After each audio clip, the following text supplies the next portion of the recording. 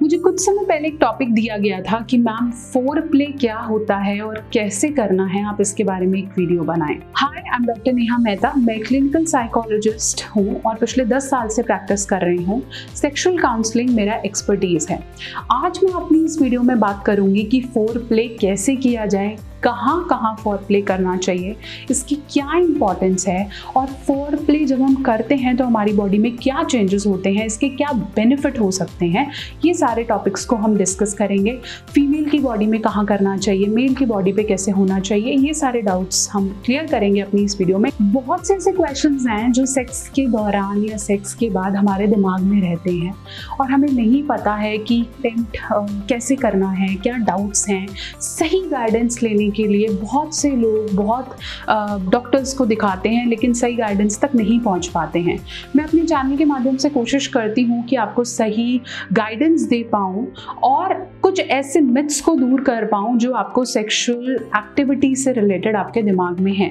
सबसे पहले इस चैनल को सब्सक्राइब कर दीजिए, क्योंकि बहुत से टॉपिक्स हैं जो मैं क्लियर करने वाली हूँ। सब्सक्राइब करना नहीं भूलेंगे। साथ साथ इस वीडियो को लाइक करें और शेयर करें ताकि और आपके फ्रेंड्स फ्रेंड्स हैं, जिन्हें डाउट्स हैं इशूज़ हैं, उस तक हम पहुँच पाएँ। देखिए, जो मेरे एफर्ट्स हैं, जो मेरी डायरेक्शन हैं, मैं चाहती हूँ आपको क्लियरली पहुँचे। और अगर ऐसे कुछ टॉपिक्स हैं, कुछ ऐसी चीज़ें हैं जिनके बारे में आप पूछना चाहते हैं कमेंट सेक्शन में लिख दीजिए ताकि मुझे भी पता चले कि आप मुझसे किस टॉपिक के बारे में डिस्कस करना चाहते हैं। साथ साथ अगर आप मेरे इंस्टाग्राम या फेसबुक पे मुझे कनेक्ट करना चाहते हैं तो डॉक्टर नेहा ऑफिशियल है, आप यहाँ कनेक्ट करिए। और अगर आप मेरे से पर्सनलाइज सेशन बुक करना चाहते हैं तो डब्ल्यू पर आप मुझे कनेक्ट कर सकते हैं। सब्सक्राइब कर दीजिएगा।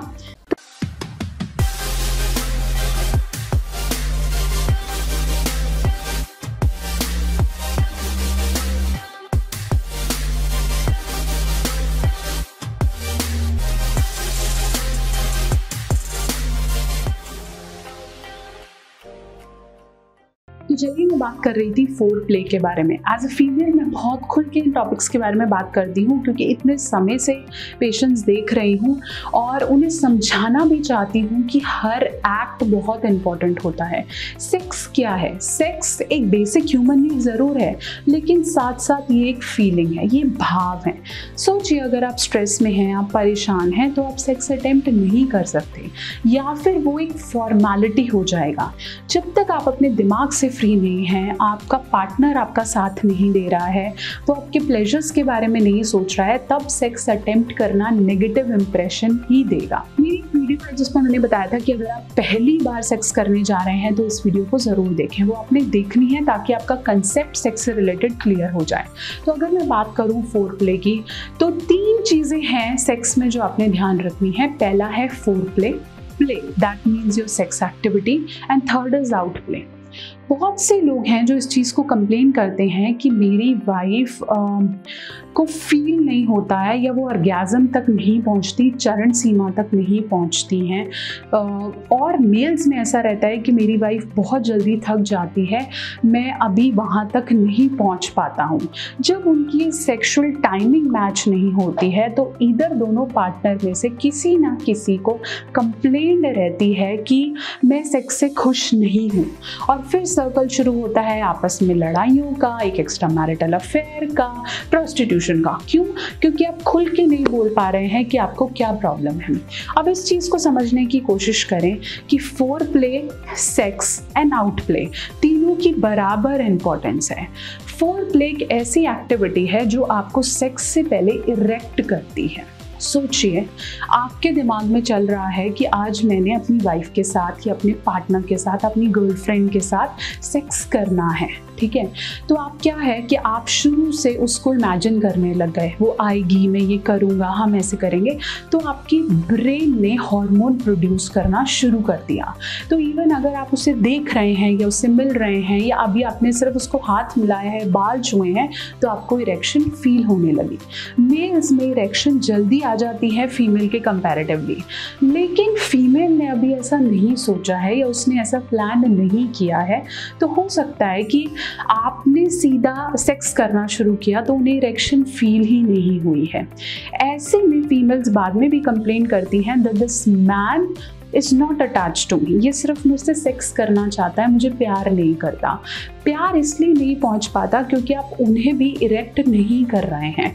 क्यों नहीं कर रहे हैं? क्योंकि अभी आपने उनके साथ फोर प्ले नहीं किया। फोर प्ले आपको लव्ड महसूस कराता है, आपको बराबर का प्लेजर के लिए रेडी करता है। जब आप फोर प्ले करेंगे तो आपकी फीमेल और मेल पार्टनर दोनों ही इरेक्शन महसूस करेंगे और उस एक्टिविटी में बराबर का साथ देंगे। अब मैं बात करूँ कि फोर प्ले कैसे करना चाहिए, ये भी बहुत कॉमन क्वेश्चन है। फोर प्ले के लिए कोई ग्रंथ नहीं है, कोई किताब नहीं है। फोर प्ले एक ऐसी एक्टिविटी है जो आपकी फीमेल और मेल पार्टनर को लव होने का आप ज़रूरी हो, उनकी बॉडी आपके लिए ज़रूरी है, उसका एहसास कराती है। सेक्स और मैरिज की क्या इंपॉर्टेंस है? इस पर मैंने एक वीडियो कुछ समय पहले बनाई थी जो लोगों को बहुत पसंद आई थी। हम आठ महीने में 40 के सब व्यूज़ तक पहुँच गए थे उस वीडियो पर।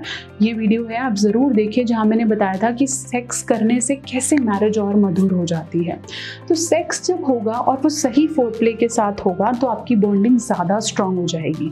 वो लड़का या लड़की आपको छोड़ के नहीं जा पाएगा, क्योंकि उसको ये महसूस हो गया है कि तुम भी उसके प्लेजर के लिए उतनी ही ज़्यादा इन्वॉल्व हो, वो कैसे कर सकते हैं? देखिए, पहले इस मिथ को तोड़िए कि लड़की की बॉडी में सिर्फ़ वो दो जगहें नहीं होती हैं जहाँ से उसे इरेक्शन होती है। हर चीज़ हर चीज़ फोर प्ले में काम कर सकती है, चाहे वो बालों पे हाथ लगाने से लेकर, गर्दन पर हाथ लगाना है किस करना है आइस को टच करना है आपके चेस्ट के साथ प्ले करना हो सकता है टमी हो सकती है थाइस हो सकती हैं फीट्स हो सकते हैं। कई लोगों को फीमेल के फीट्स को कडल करना बहुत अच्छा लगता है। एवरीथिंग आपकी कमर everything everything comes in foreplay ऐसा ज़रूरी नहीं है कि आप सिर्फ़ वजाइना को लिख करेंगे या उसके साथ प्ले करेंगे, वही उनको फोर प्ले की फीलिंग देगा। सिमिलरली बॉयज़ में ऐसा ज़रूरी नहीं है कि आप उन्हें ब्लो जॉब दें या आप उनको टच करें, तभी उन्हें कुछ होगा। Even their shoulders head massage everything is included in foreplay बराबर ये चीज़ें ज़रूरी हैं और इसका बेसिक कंसेप्ट है कि आप उन्हें उस प्लेजर तक ले आएँ जहाँ वो रेडी हो जाए, ताकि बाद में आपकी टाइमिंग मैच करे। किस चीज़ की टाइमिंग कम टाइमिंग मतलब ऐसी टाइमिंग जहाँ मेल अपना स्पर्म और फीमेल अपना ओवा और गैज़म बराबर के टाइम पे डिस्प्ले करे, ताकि आप लोग अगर रिप्रोडक्टिव होना चाहते हैं या फिर सेक्स एंजॉय करना चाहते हैं, वो सही समय पर पहुँचे। इसलिए ज़रूरी है इस चीज़ को समझना कि ऐसा ज़रूरी नहीं है कि सिर्फ़ वही ऑर्गन सेक्स ऑर्गन्स को टच करने से ही फील आता है। हर बॉडी के ऑर्गन को टच करने से वही इरेक्शन का फील आएगा।